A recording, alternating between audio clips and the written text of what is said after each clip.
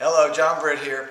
Today we're going to do uh, just kind of uneven cups, uh, like sort of uncentered and wobbly. And uh, so I'll show you, like this would be a, the opposite of what we're making, the, like a normal straight up cup. Uh, but today we're going to make stuff that's like super uneven and uh, cattywampus and, um, you know, weird looking. So here's like uh, here would be a sample of one like when it's spinning on there it's super uneven. So what what we'll do a couple ways to do it. One way is to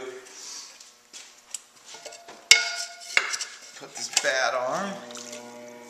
And what I try to do with this is I try to center the top.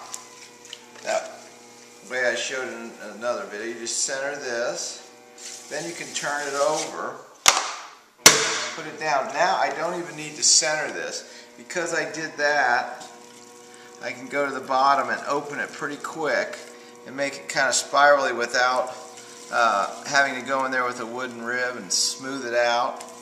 And then I just proceed to do a pull, but there's no concern about centering. And we'll just let that thing be weird. And then I just do my pull. So you get a little, you kind of loosen up on if it's good or bad.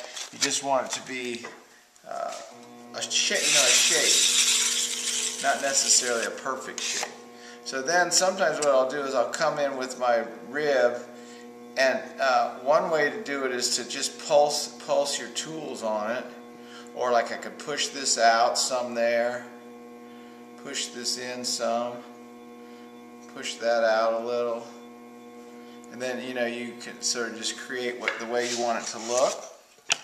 Okay, and another way would be to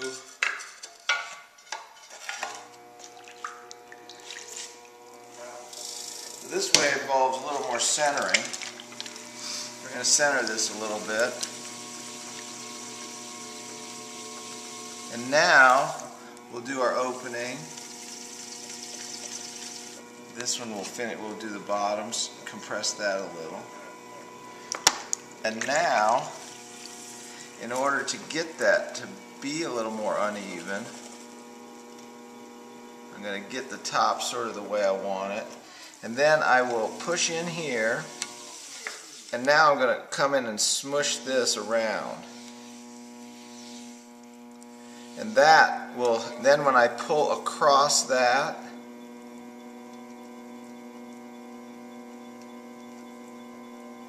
then you see how my rim and everything becomes uneven because I had smushed it around a little. Okay, so those are two ways, and then I would do the same thing with this. I might come in with this. Sometimes, you know, another way you can do it is instead of holding your hands still and steady, you just sort of let them, you let them move around. You don't, you don't like, you go, Whoa. okay? And that's it. So that's all we got today. Try to make about a hundred of those and we'll see you tomorrow.